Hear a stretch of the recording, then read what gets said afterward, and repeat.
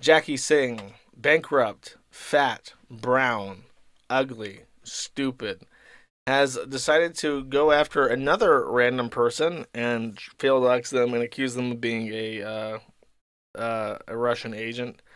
Um, this time she's going after someone named June Cole or June Cho. I don't know how you pronounce that.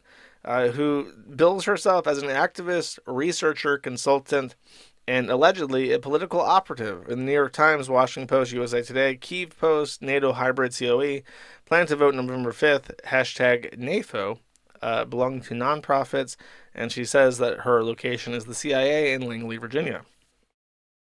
Uh, Jackie Singh replies and says, official warning to.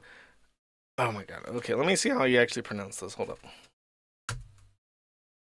English to Korean. And then I'm going to do this. Jun Cho. I was right, Jun Cho. I got it right the first time. Damn, I'm good. Okay. Uh, Jackie says, official warning to Jun Cho, get your trolls off me or I will end everything you've worked hard to build. Uh, which sounds like uh, literal extortion, criminal felony extortion, the kind that you would owe Stalker and Joy Prison for saying. Um, but then she says, hey, NAFO fellas, consider asking June Cho why she left why he? Oh, it's a man. Oh my God, it is. How embarrassing.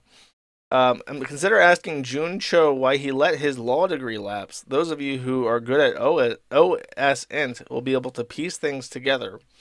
I don't have the time to for a detailed breakdown right now, but NAFO should avoid donating to his pact. Can your law degree lapse? Is that even a thing? How do you how do you lose your law degree? Can law degrees expire? No, a law degree does not expire. Okay then.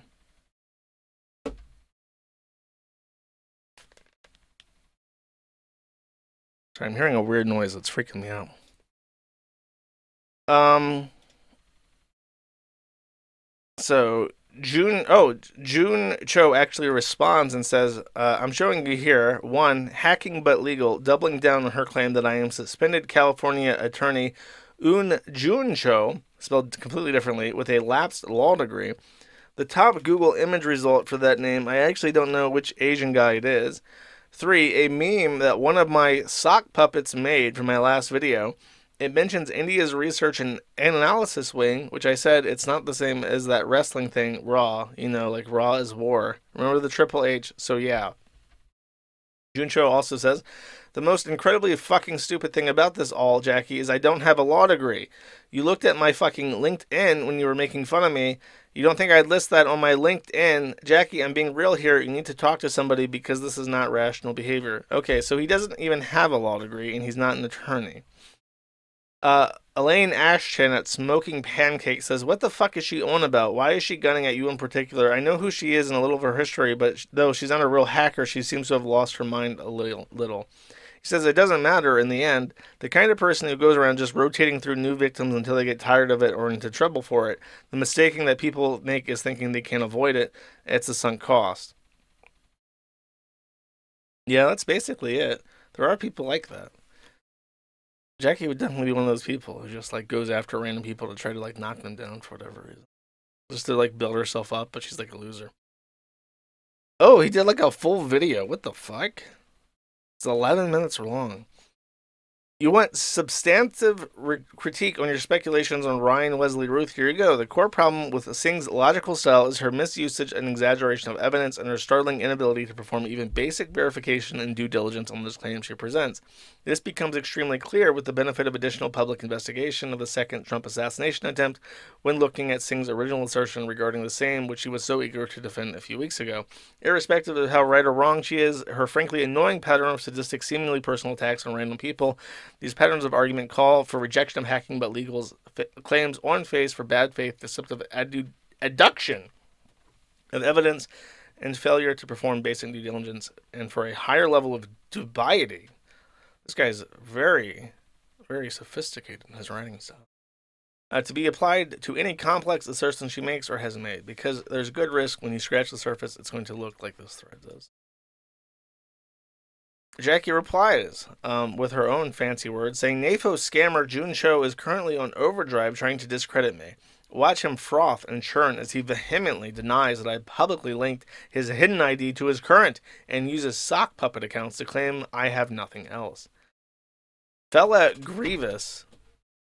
Wow, that is such a cringe username. So the guys that are like pro North, like pro NATO, they call themselves fellas because they're like just stealing old like right wing memes, and then they give themselves like Sith names, like Fella Grievous. They're actually like this. These people are out there supporting a military alliance that has eroded human rights and free speech in the United States and the West for 50 years. Uh, do you stand by your assertion that June is the same person who identified him as the CIA bar database showing someone lost their law license? You're positive you did your due diligence on that? And she says, yes. Uh, Ming, the merciless fella, says, ah, but June, you don't really need a law degree to get disbarred as a lawyer. You need to first pass the bar exam to get disbarred. Uh, Jackie says, you sure know a lot about him. Only a person with intimate knowledge of his life could make such a suggestive counterclaim. Um. Oh, and then Ukraine Kit, which is just Ukrainian for cat, says, decided to do some digging of my own. Is this you? And then says, report Biden campaign cybersecurity expert linked to Gay Nigger Association of America hackers, also known as the GNAA. And Jackie says, no, you're amplifying Kremlin propaganda that targeted Dems during the last election. Um, so I'll recap this for anyone new to Jackie Singh, in case you're wondering. Um, Jackie is a little curry flavored dingleberry. She's never accomplished anything in her entire life besides shitting out two kids that she doesn't have custody of. Um, she like if you're one of those people that's like the family courts are always woman sided. Imagine what a fuck up she must be to lose custody of two of her own kids. Um, she's currently bankrupt because she keeps taking out loans for businesses that all fail. Um, she is a disgusting loser currently hiding in Puerto Rico. Um, but back in the day, 10 years ago plus, she was trying to, uh, the GNAA was like a respected hacking group. They did a lot of like meme stuff because their, their whole thing was just like trolling basically. They did some other stuff, but trolling was like their forte. And they kind of had like a high, um, public, uh, public like perception or whatever. So she would be, hang out in their IRC and like try to talk to people and make friends and nobody ever actually let her into the GNAA. She claimed to have been a former GNAA member that turned white hat or gray hat or whatever after the fact. Uh, but that's untrue. Everybody at the GNAA uh, has denounced her and said that she's a fucking loser retard. And then after people started making fun of her for being associated with this, um, she now denies it. Even though she went out of her way for years to try and falsely claim that she was a member of this group that didn't want anything to do with her. Uh, now she has to eat, eat fucking crow because now it's not cool to be a member.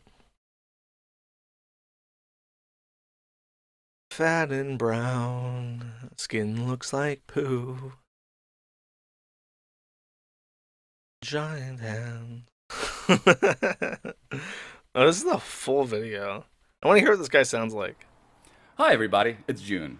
So, today right, I'm going to explain to you uh, what exactly is wrong with this tweet right here, and also the person who issued that tweet. So, to start off real quick, right, it says, hey, don't donate to June because he's uh, this shady lawyer who let his law degree lapse. Uh, she actually means attorney certification, not law degree, because a law degree obviously doesn't lapse. It's right, being barred that would lapse. But anyway, she says, "Oh, I don't have time for a detailed breakdown. It's very complicated. It must be really complicated, right?" So, but NAFO, don't donate to his PAC. This guy's shady. Okay. Um, first, I don't even know if any NAFO have any of you actually donated to. I don't even know if any NAFO fellows have donated to the PAC. I, I saw a bunch of people that I recognize actually from uh, Facebook donating to the PAC, but.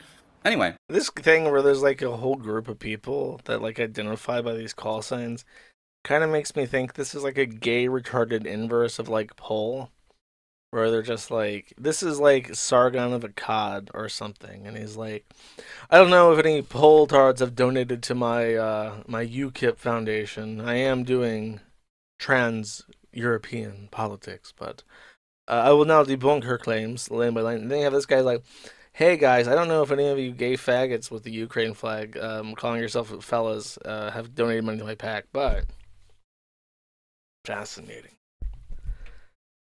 Now, there's one more thing. Uh, someone called her out. Let's see, this is the post. Uh, Joe the Independent um, says, I'm confident that you were actively misidentifying June Cho as Christopher Un June Cho. I encourage you to retract your statement.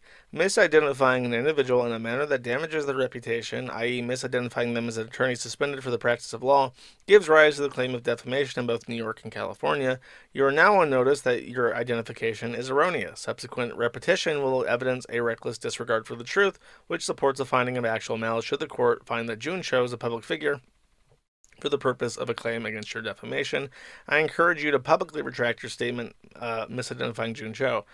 Um, this is accurate. Asking for a retraction and uh, identifying to the person who has made the face- false claim that their claims are in fact false and having them refuse to do so is evidence of actual malice, which can circumvent both a public figure de- uh, defense and also it can be used to get punitive damages outside of actual damages in a defamation claim. So, Joe the Independent is, uh, to the best of my knowledge, on point. Uh, Jackie Singh replies to this accurate information by saying, "Retract your threat of litigation immediately." Um, now there is no, there's no tort for threatening to sue somebody, um, and there's no onus on him to retract anything. So. Uh, Jackie does not know what she's talking about, but I'm not sure that would surprise anybody, huh? Thank you for watching this clip. This is Perspicacity. Remember to like and subscribe.